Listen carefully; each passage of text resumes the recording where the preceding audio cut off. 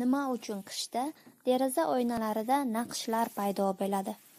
Qishi o'ta sovuq mintaqalarda yashaydigan bolalar oynalardagi qirovni tomosha qilishni yoqtirishadi.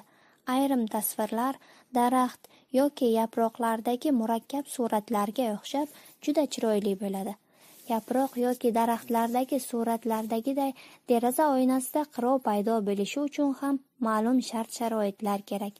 Qirov muzlagan suvning mayda kristalchalaridan hosil bo'ladi. Namga to'yingan havo muzlash nuqtasiga qadar sovigandan keyin qirov hosil bo'la boshlaydi. Muzlash nuqtasi faringeyt shkalasi bo'yicha 32 daraja, Selsiy shkalasi bo'yicha esa 0 daraja. Suv soviganda undagi namlik kamaya boshlaydi.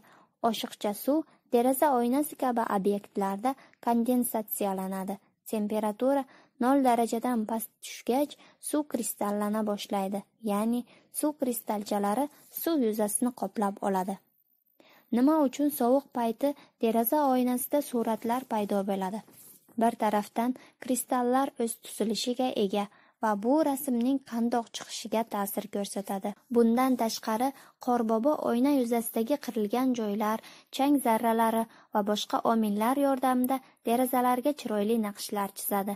Bulduruq deb ataladigan oq qirovning ikki turi bor: dona-dona qirov va kristallangan qirov. Dona-dona qirov muzlab qolgan tumandir. Kristallangan qirov esa havodagi muzlab qolgan suv bug'laridir. Qirov gazsimon suv bug'ining to'g'ridan-to'g'ri qattiq holatga o'tishidir. Sovuq qishloq xo'jaligi uchun o'ta xavflidir. U daraxt butoqlarini yoki pishayotgan mevalarni nobud qilishi mumkin. Aslida sovuqning o'zi emas, o'simlik tarkibidagi suvlarning muzlab qolishi zararlidir. Dehqonlar o'z hosilini muzlashdan asraydigan bir qancha usullarni o'ylab topishgan.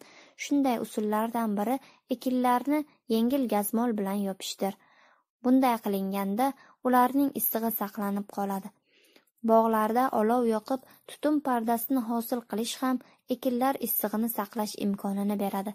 Siz Qorbobo chizgan naqshlarga mahliyo bo'lib o'tirgan payt millionlab tonna hosilning taqdiri xavf ostida bo'lishi mumkinligini esdan chiqarmang.